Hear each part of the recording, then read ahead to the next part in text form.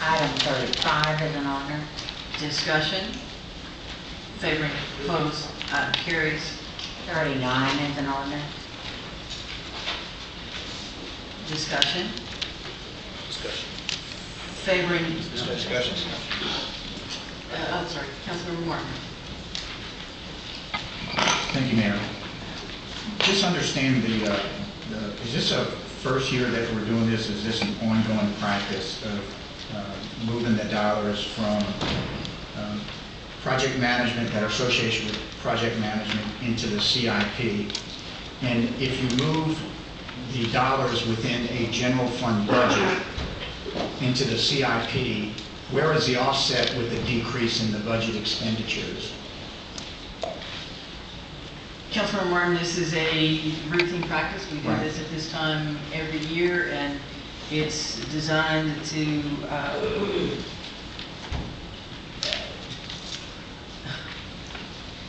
capture the, uh, the associated project costs for these projects into the, uh, Right, and man- they're managed internally, so, so it it uh, offsets the uh, staffing costs Right. manage the projects. And I understand that, that my, my issue is, is we have 3.3 million that's moving from general fund to CIP.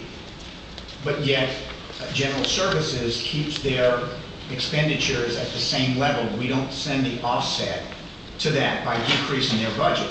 So if my budget, for instance, is $5 million in a year, and I'm sending over a million dollars into the CIP, there's some way should be an offset to that where you decrease, it's, it's a credits and debits issue. And that's what, what I had a little bit of a fundamental problem with. When you see money flowing from general to CIP with no drop down on the general fund within that particular department, that's where my question came about, so.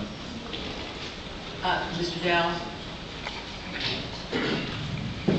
And I understand that this is a, a common practice, but I think it's one that fiscally we should look at because debits and credits have to correlate. And I, I don't think he has the answer. Yes. And so the majority of these people would not be general fund employees. We have salary recovery funds where people who primarily work on capital projects such as these sit and we, and we intend to recover them all year long from uh, the construction funds. And so by and large, these actually would not be um, general fund employees.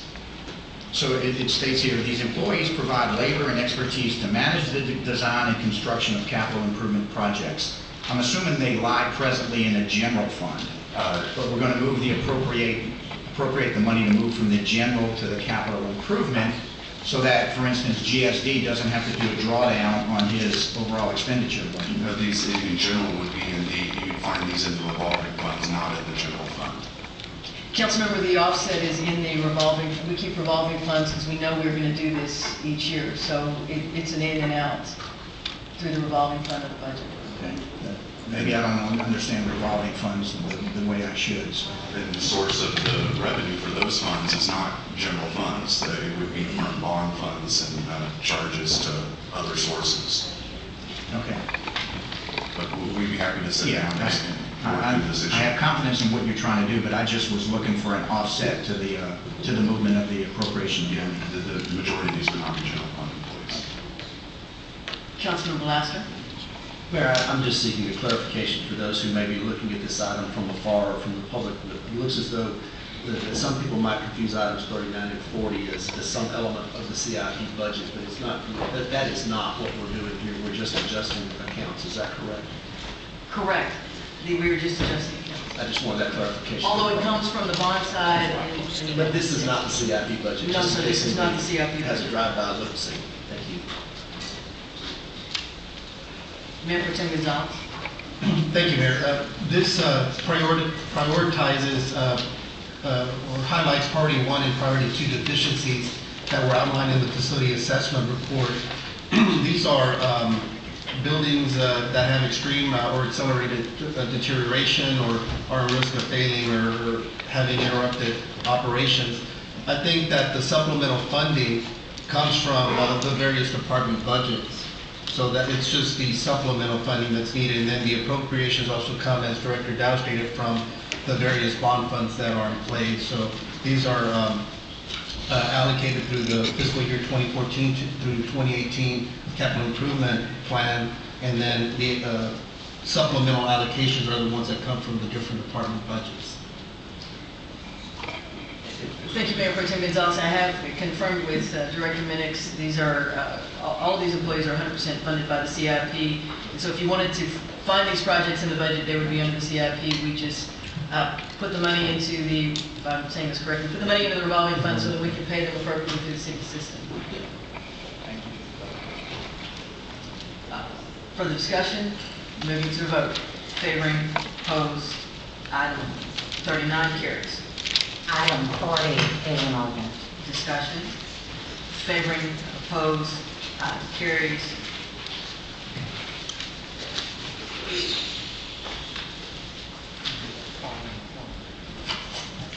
Forty-one is an ordinance. Discussion. I'm sorry, tagged by Councilmember Kubosh.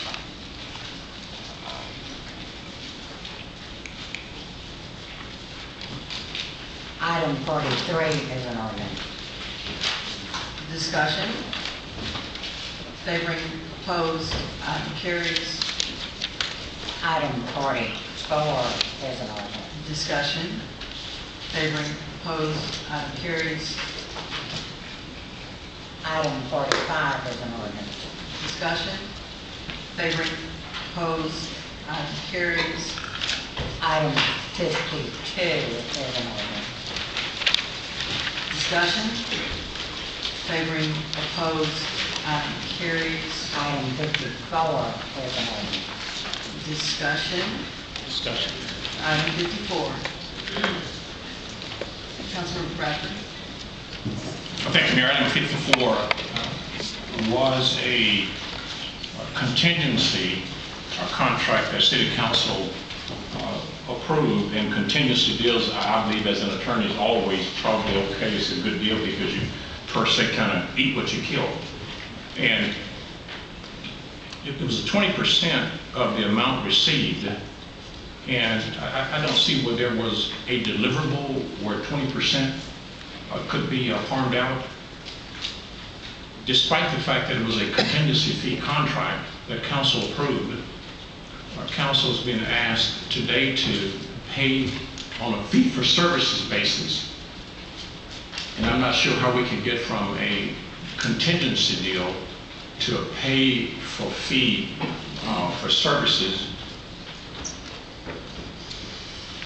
So, so, uh, until I can get more of an understanding as to why we've been asked to pay for a contract that council didn't approve for $1.5 million. uh, And I- I'm baffled by this because contingency fee contracts are standard uh, in in the legal profession. And if you don't deliver, you don't get a percentage of what you didn't deliver. And if the deal was changed, it seems to me that there was an obligation to come back to council and say that the deal has been modified and it's not going to be a contingency deal, and let's do a, do a RFP, or let's make a sole source or something before we spend $1.5 uh, million dollars. So uh, I understand that uh, Mr. Feldman is headed back to uh, town.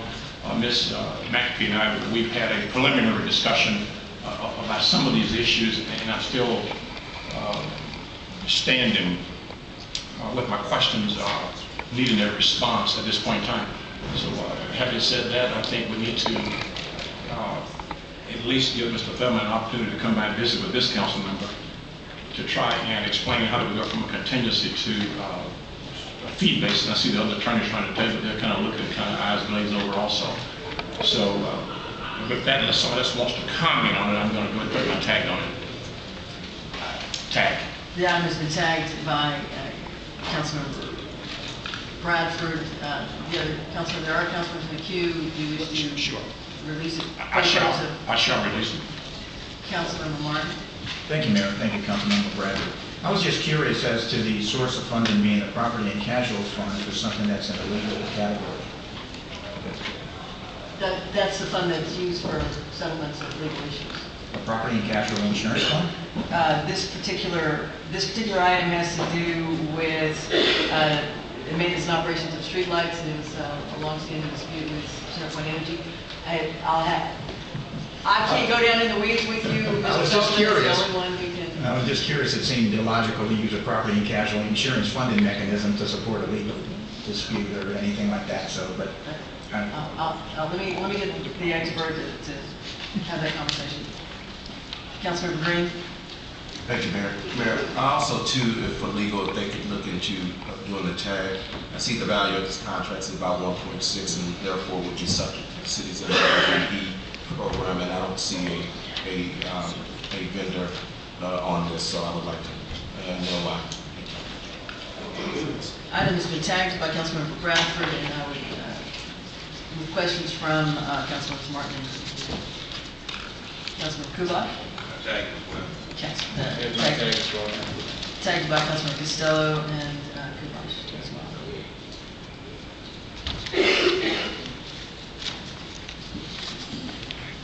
Okay, item fifty-nine.